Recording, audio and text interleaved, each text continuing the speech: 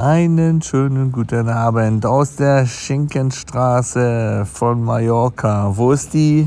Ja, wer sich ein bisschen auskennt, weiß, die ist an der Playa de Palma am Ballermann oder auch in Arenal.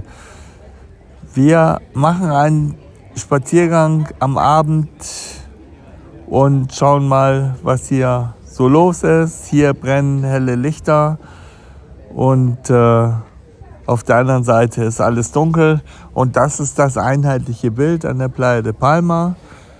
Wir werden hier verschiedene Straßen besuchen, werden einmal zum Ende hin nochmal zum Bierkönig gehen und ich wünsche ganz viel Spaß bei diesem Video auf Georges Kanal.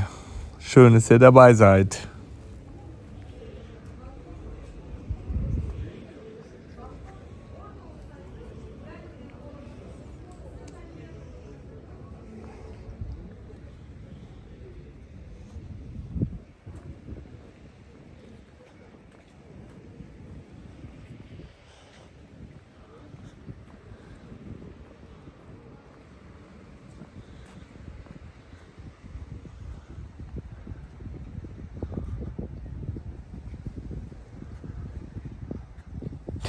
Am Abend kann man ganz gut sehen, wo schon Hotels geöffnet sind. Hier ist hell erleuchtet gegenüber vom Ballermann 6, vom Balneario Nummer 6. Und äh, auch hinten links sehen wir ein Hotel, das hell erleuchtet. Und da kann man dann sicher sein, da ist zu 100% geöffnet. Ansonsten sehen wir hier auf der Straße direkt an der am Strand ist wenig los, wenig Fußgängerverkehr. Am Tage ist ja schon viel, viel mehr los. Da sitzt man hier in den Bars und in den Restaurants Richtung Meer und äh, ja, vergnügt sich hier. Das Durchschnittsalter im Moment noch ein bisschen höher, bevor es dann ungefähr Anfang Mitte Mai losgeht. Dann kommen die ganzen Gruppen Reisenden hier an, die zwischen drei und fünf Tagen hier bleiben und ihren Saisonabschluss feiern. Das sind überwiegend Sportler, die eine harte Saison genossen haben oder auch weniger genossen, wie auch immer, die ähm, ausgelaufen sein mag. Auf jeden Fall wird dann hier Saisonabschluss gefeiert und äh, ja, da will man einfach Spaß haben. Im Moment ist diese Ruhe hier perfekt für diejenigen, die einfach genau das suchen, nämlich die pure Erholung auf Mallorca. Denn die Playa de Palma ist einfach viel zu schön, als dass man hier nur Halligalli macht. Auch das Hotel hat geöffnet, wurde umgebaut, alles wieder perfekt hier.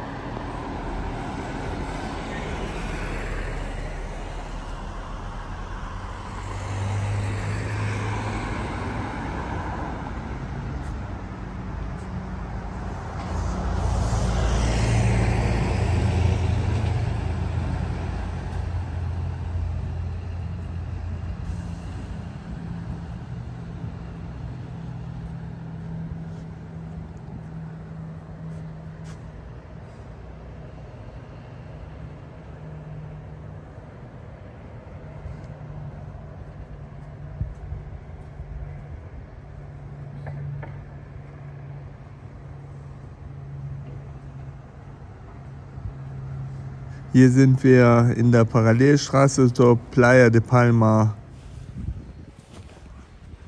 Und dahin war doch sehr wenig los, deswegen sind wir jetzt hier wieder an der Promenade.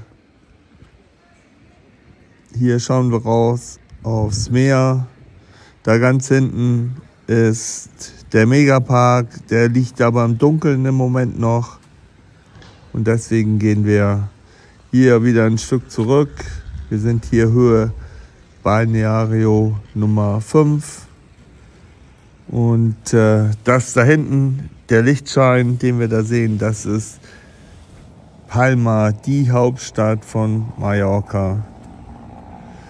Hier die Strandpromenade ist hell erleuchtet. Noch stehen die Pylonen hier, sind noch nicht abgerissen. Die werden irgendwann alle verschwinden und dann wird die ganze Strandpromenade hell erleuchtet, aber ganz anders mit LED-Technik und so weiter. Es dauert noch ein bisschen, bis man sich hier ganz durchgearbeitet hat. Hier sehen wir den Strand. Noch steht hier nichts, keine Schirme und keine Liegen.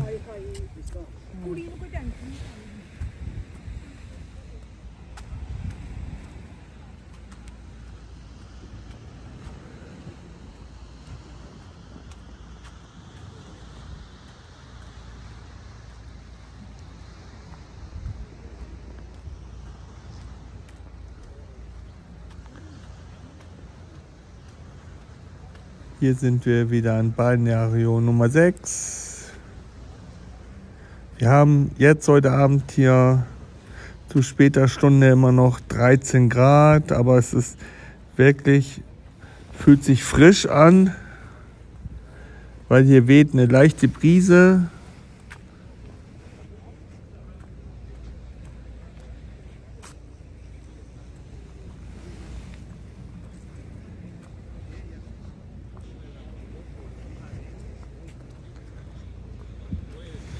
Man kann sagen, ungefähr 50 Prozent, sagen wir zwischen 35 und 50 Prozent mehr Gäste, die hier einfliegen auf Mallorca in diesen Tagen, bis die Saison dann losgeht.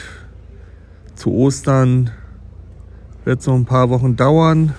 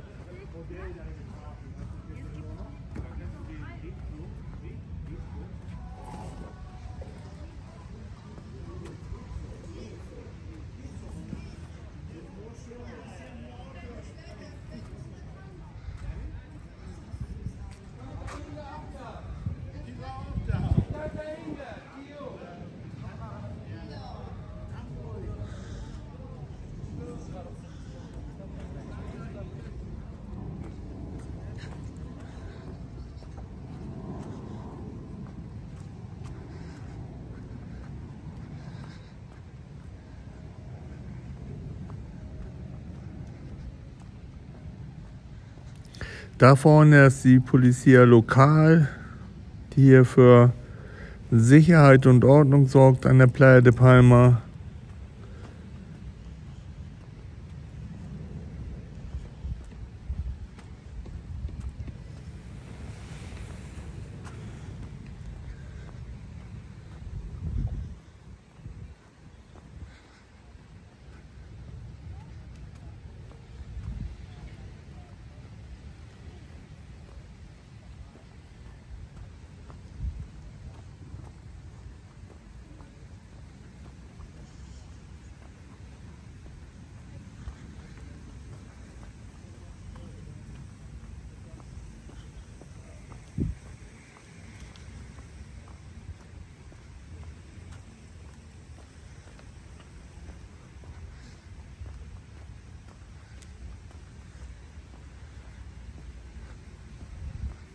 Wir werden jetzt wieder einen kleinen Sprung machen, wieder auf die Parallelstraße in den hinteren Bereich.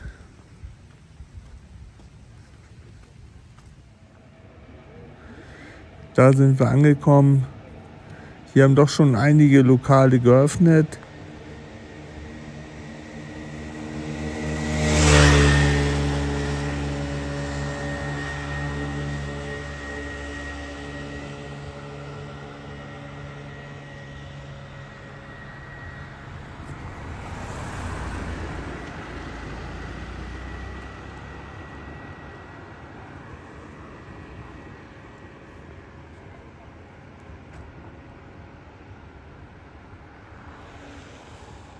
Hier sehen wir das Tabana, das hat im Moment noch geschlossen. Im Moment keine Nightlife-Show, sondern himmlische Ruhe hier.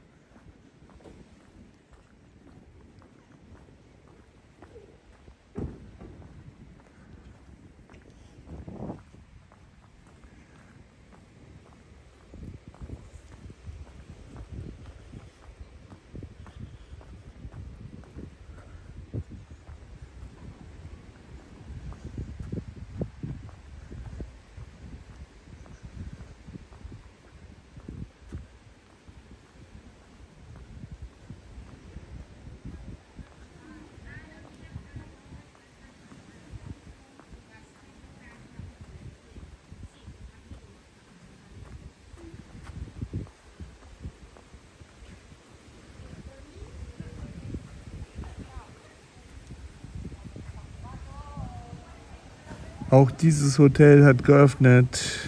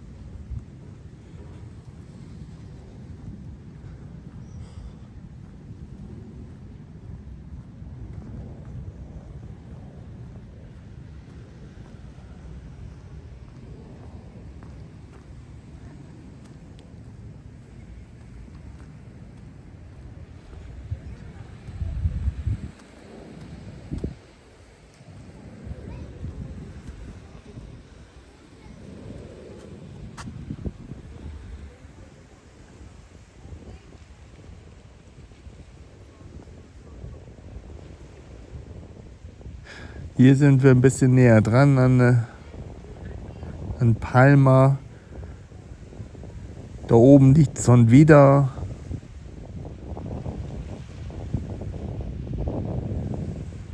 Und je weiter wir nach links schwenken, desto dunkler wird es. Da ganz hinten liegt Magaluf und Palmanova. Das kann man noch so einigermaßen erkennen.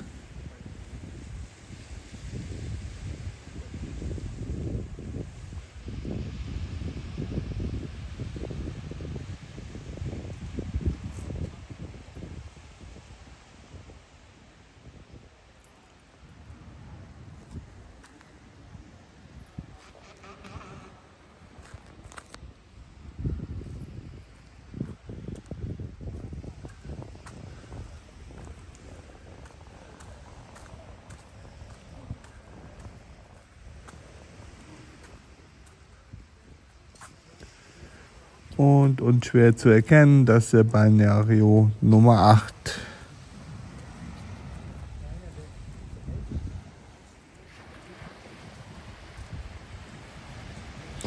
Dort ganz hinten liegt Sarenal, Balneario Nummer 0, Baldaman 0, da ganz hinten. Vor kurzem habe ich dort ein Video gedreht. Wer das verpasst hat, gerne nochmal hier schauen in den Videos auf Georgies Kanal. Ich werde das einmal verlinken, so dass ihr das euch nochmal anschauen könnt, wer es verpasst hat.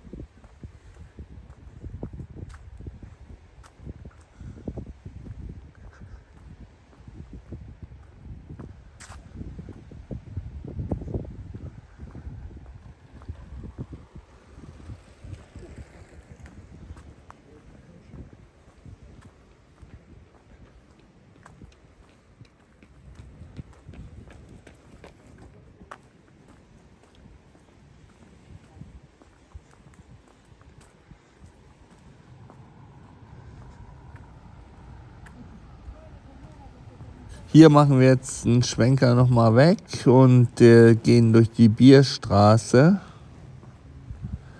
Die ist nicht ganz so hell erleuchtet, logischerweise, weil die meisten Lokale geschlossen haben.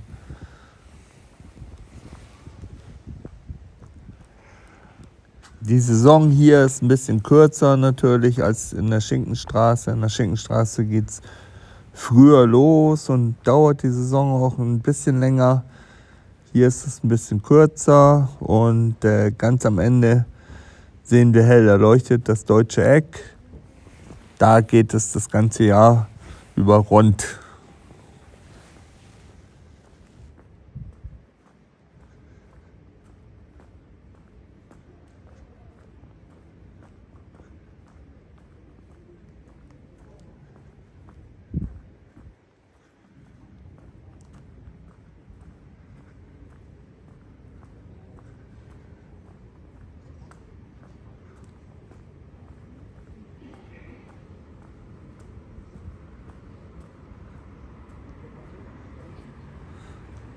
Muss man vielleicht ein bisschen revidieren. Das Deutsche Eck ist nicht so ein Halligalli-Location, sondern ja, da sitzt man gemütlich, trinkt sein Bier.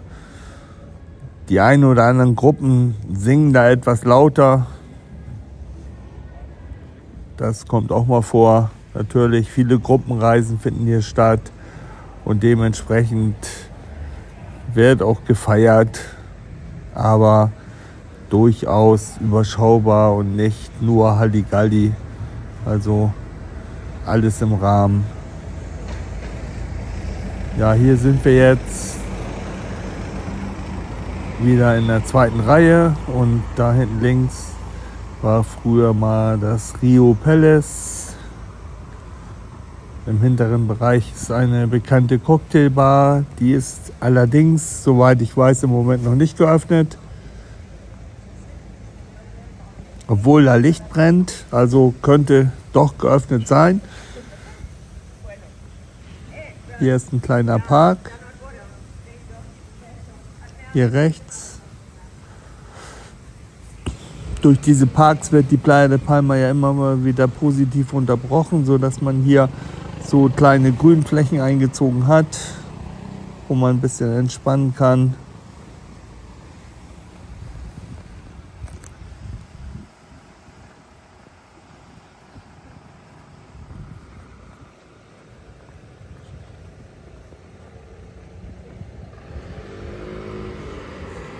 Da drüben sehen wir eines der Rio-Hotels. Auch das hat schon geöffnet.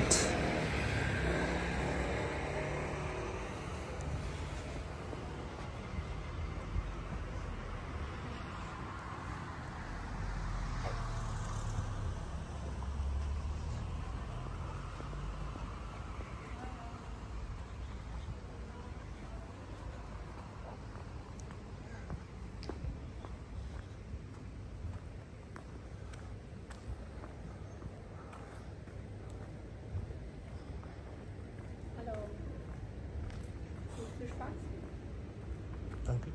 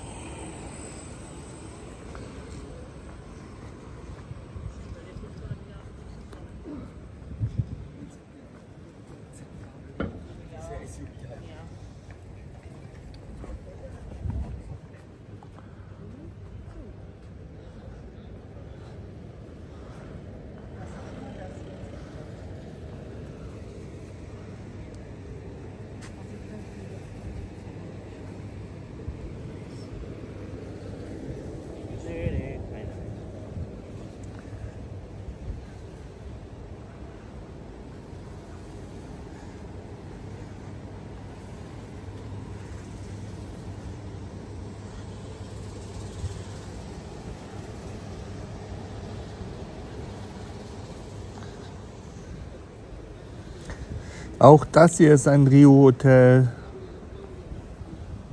Unschwer zu erkennen, geöffnet. Das hat aber das ganze Jahr über geöffnet, 365 Tage. Liegt hier praktisch direkt an der, an der Schinkenstraße. Dort schauen wir jetzt noch einmal kurz rein und dort wird das Video auch enden für den heutigen Abend. Ja, in wenigen Wochen wird das hier schon ganz anders aussehen. Da werden hier die Straßen voll sein, da wird hier gefeiert ohne Ende, wenn erst ähm, der Megapark und der Bierkönig dann wieder komplett geöffnet hat. Das Bamboleo hier auf der linken Seite natürlich auch. Klar, Bierkönig hat das ganze Jahr über geöffnet, aber es ist halt alles so ein bisschen, bisschen ruhiger da. Man hört ein wenig Musik, und das war es dann auch. Alles ein bisschen zurückhaltender. Ja, ich verabschiede mich hier und heute von der Playa de Palma, vom Ballermann. Ich würde mich sehr freuen, wenn ihr dem Video einen Daumen nach oben gebt. Sagt Tschüss, Adios und Bye Bye. Danke für eure zahlreichen netten Kommentare und freue mich auf das Video gemeinsam mit euch. Vielleicht schon morgen. Bis dann. Servus, euer Jörg.